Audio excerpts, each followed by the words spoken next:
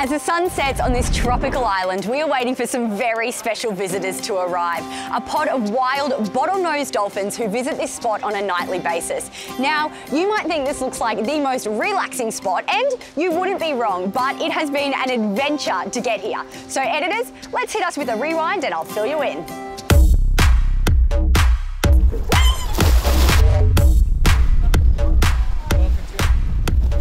It's been a wild trip so far snorkeling, quad biking, sand dunes, and segways. Now I'm ready to have a nice, relaxing dinner with the dolphins. The sun is set, the dolphins are dancing around in the water behind us. It's their dinner time, they're excited, and so am I. Come on, let's go feed them.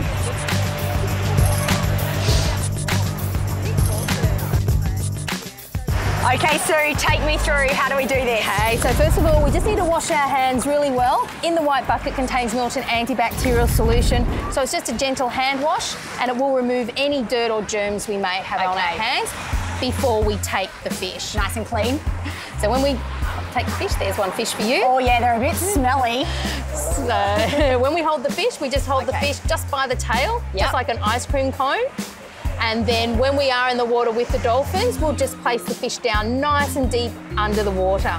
And um, there's no need to be worried about the dolphin biting your fingers or anything like that.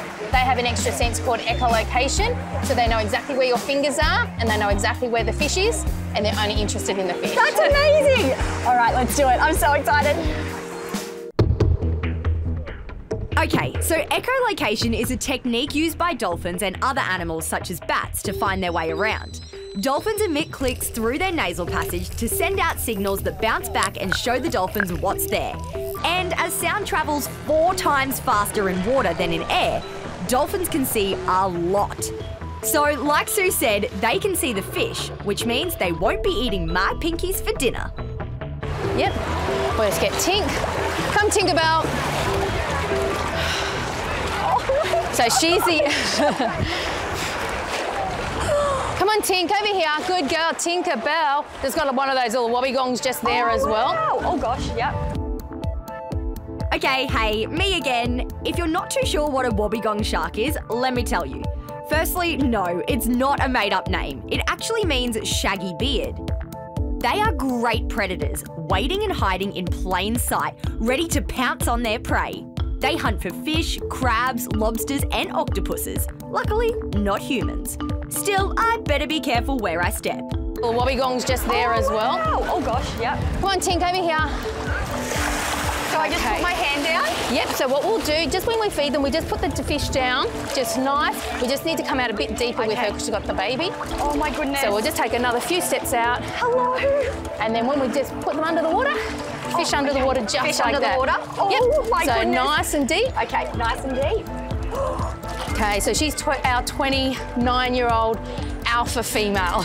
Oh my goodness. I'm so sorry. I am a very excited person and I'm trying to keep calm, but this is incredible. Hello, she's nudging my leg. Oh my goodness. Okay, how do you tell the dolphins apart? Oh, you want food. I'm sorry, Tinkerbell. There you go. So we can generally tell them apart by their size, colourings, or any markings they may have. Okay. But the main feature is actually their dorsal fin. Oh, and she's showing it off She's right showing now. it off now. Yeah. so each dolphin has a different shape of dorsal fin. So to us, it's like looking at their face. We only feed these dolphins around about 10 to 20% of their daily intake. So we do see the dolphins hunting before, during and after the feed.